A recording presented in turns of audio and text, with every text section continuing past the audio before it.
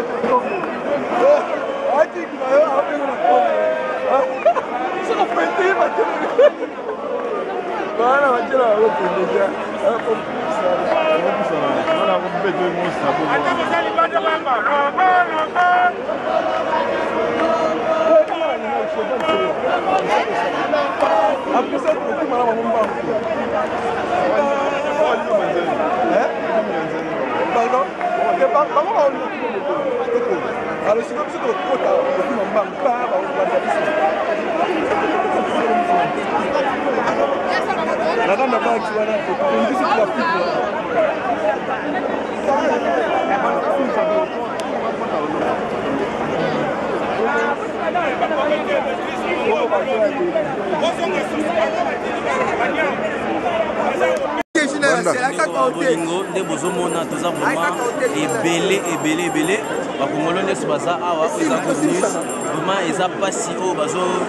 rape bamama na biso makambo mabe ezosalama na mboka ya kongo oyo bino nyonso boyebi so totandi mpe na moke na biblia biblia ezotalisa biso ke moïse abundaki mingi mpo na israele babima na lani wana nzambe asungaki aprotege bango na bibundeli oyo bato moki bamona ete biso komba na biso eza spirituel mpo nzambe azobundela biso yango wana toza na ndeko cédric akoyebisa bino baémotion na ye oyo eza na pokwa lelo mpona na congo ndenge eza na situation oyo ndeko boni mpona basituation oyo ndeko na ngai yebisanga baémotion nini oza nango vraimenttoza na émotion na koloba esengo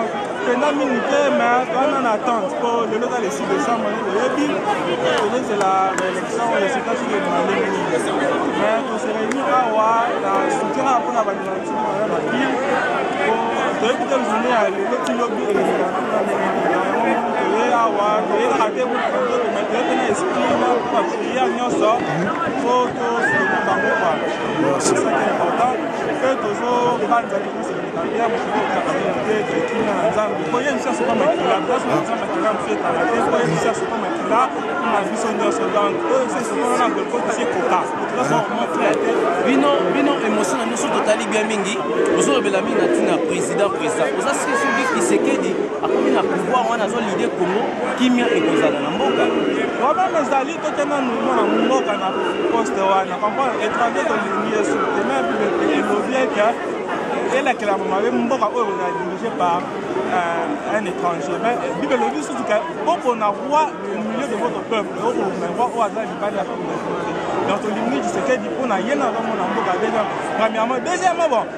Amema mpe biso na nzela moko ya, ya demokrasi mpo ata na 2016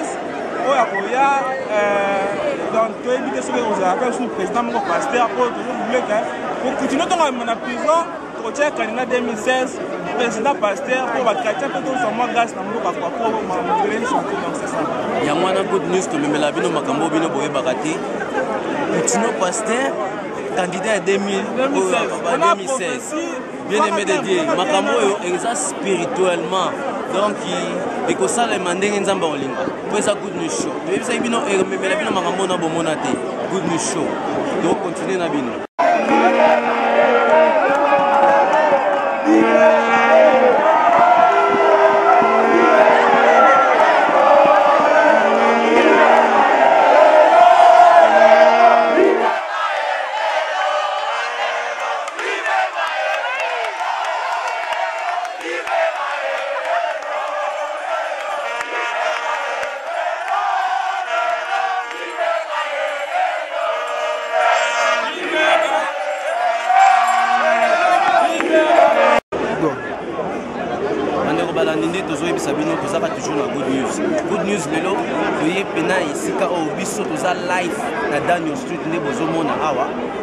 oyo eza fuma na biso julia donc ye mpe aza mwana congo susi wana elati voi meme bajeune bamama toujours bazolobela na ntina ya kimboka eza na maboko ya bapaya ndenge nini tobongisama tobosana te toza na good news eza eh, émission chrétienne mais tozolobela na mamboka mpo nzambe apesa biso lani wana julien mo baémotion naona mpolo eza ndenge émotion na mezaki moni kala toyeba ke bajeune bazalaka kaka ke mwa bandenge moko boye mais mosinanga ezaka ke esalanga bien mpona mona ke bajeune mpena basangani mpena baza détermine mpona makambo ya pays donc bajeune etuka mpena détermine mpena besoin ya pays na biso ezonga na maboko na biso po donc génération na biso nde ezalama donc toza na makambo ebele oyo tozobunga tosala mpo na congo yango bagene baza determine vraiment ndenge boyoki vraimen nga moko naza choke komona bajeune lelo toyebaka bajeune na biso na makambo ya bambeli makambo ya baminduki mais lelo tomoni na bajeune wana oyo na bisaki bino bokoyoka batémoignage nano esili te tozokontinue po alobi na bino ke bajeune na toyebaka wana makambo mabe mais lelo batelemi mpona makambo ya kongo Bino makambo makongo oyo ezaka ayebaki ni kongo te ah, donc makambo makongo kutu ebandaki kotala ye te donc makambo makongo soki ekomi okontrone bango na wana bino eza plaisir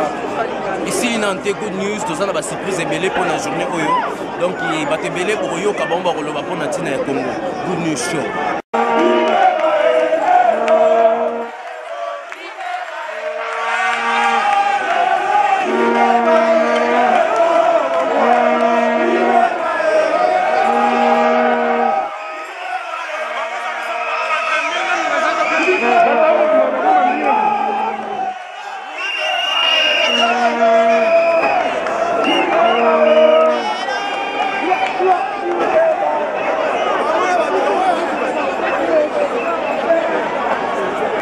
Good show vraiment toza content te mambo esama eza pasi donc ezosalama awa bapolicier baza na part moto aza na mboka azonyokola bato bakomi opusi biso na bacheval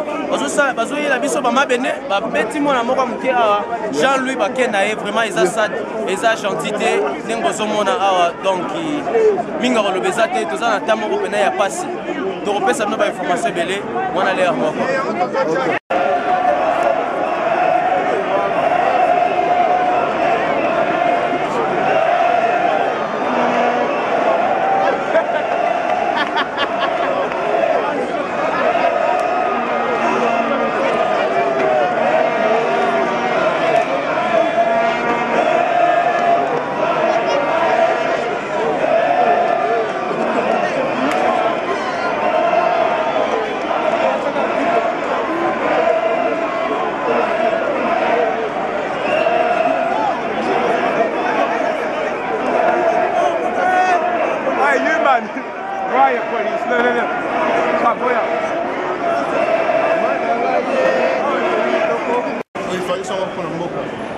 po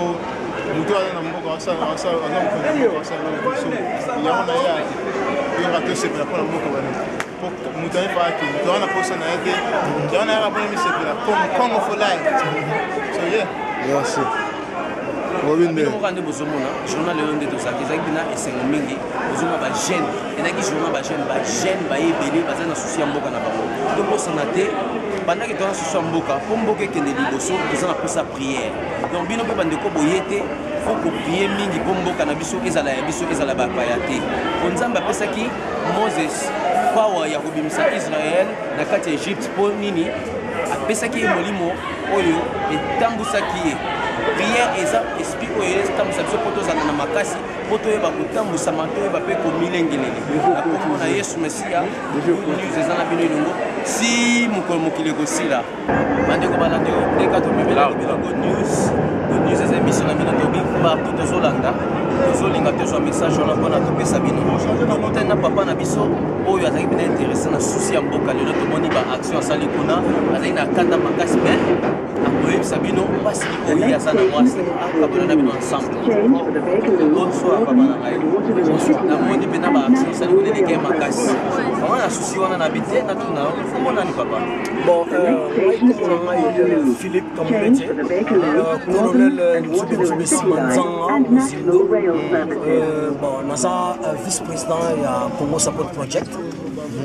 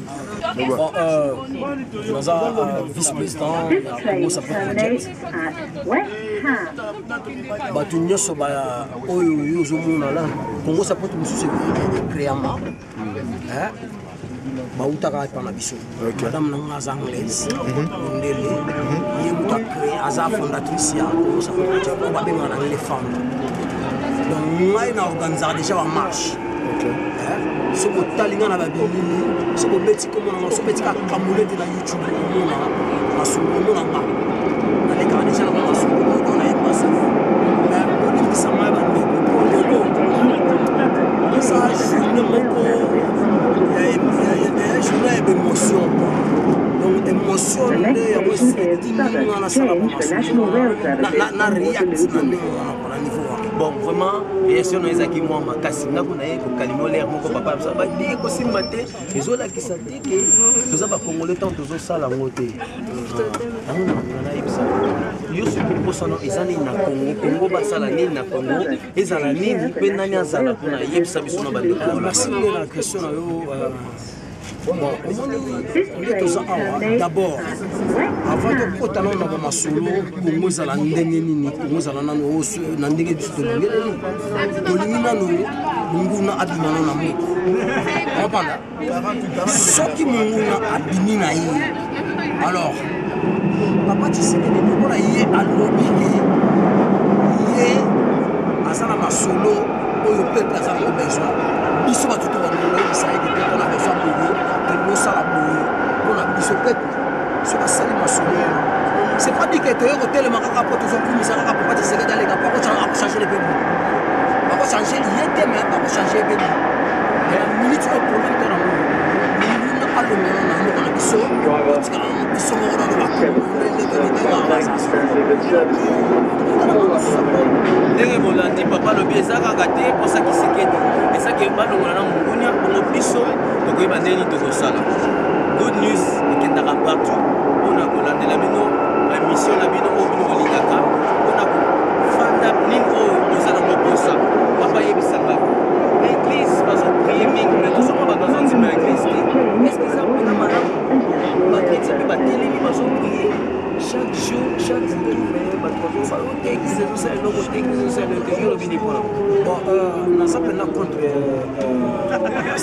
eza mpenza contre bafrère te po biso tuto bafrère biso tu toyebiolandi boyoki mpe mpe baleli nzambe ayoki prière ya bacongolais donc oyo eza finale ya prière oyo basala nzambe basalaki mokili mobimba mpo na good news tolandaki partout toyebisa bino nini fo boyoka émission oyo eyisaki bino ke mokili mobimba bokolanda yango bokozala desi te mpo na good news eza makambo ya nzambe congo eza sauve good news show